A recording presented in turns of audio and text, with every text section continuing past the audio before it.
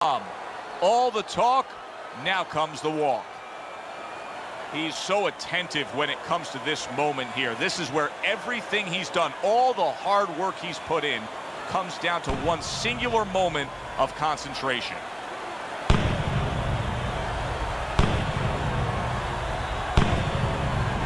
Bishop's making his way to the ring right now, and you can just see in his eyes what his intentions are tonight.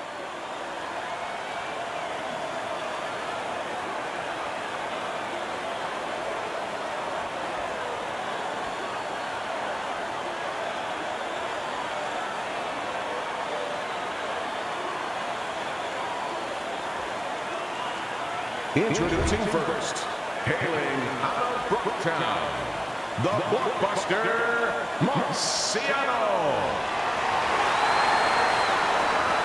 And his opponent across the ring, hailing out of Philadelphia, Andre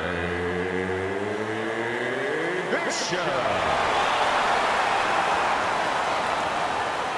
Remember, guys, obey my commands at all times. Let's have a good, clean fight. Touch him up. All the talk, all the hype, now the fight. Round one, scheduled for 10. A well-placed overhand right. Nice combination, jab, uppercut to the head. Blocks away that headshot. He is damaged badly there. He may hit the floor. Oh, he's, wow! Punch landed in that combination, and he goes down hard.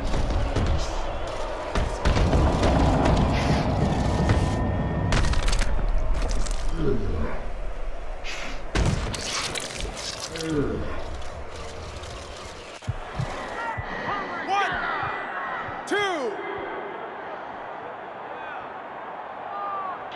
So now the question becomes, after that knockdown, and he has gotten up, how does he survive? So one of the ways he survives is if he's been taught. Have good habits, have good fundamentals been put there. You're gonna find out right now, he needs them right now. And he's really doing a nice job of hitting the mark with the jab. And that's exactly what he needs. And it's not hard to hit the mark when the mark's coming at you. The right choice of a punch. Big shot there. Up off the deck scores a knockdown of his own. And he turned it around because when his opponent scored the knockdown, he got a little careless, a little lazy. One, two.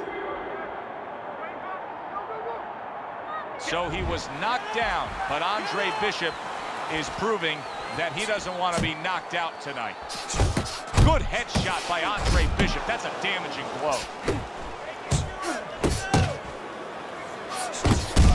Putting his punches together, landing two shots there.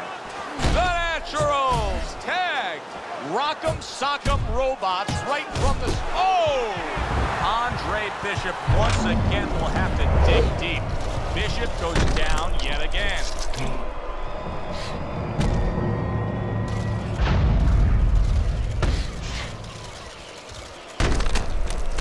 One,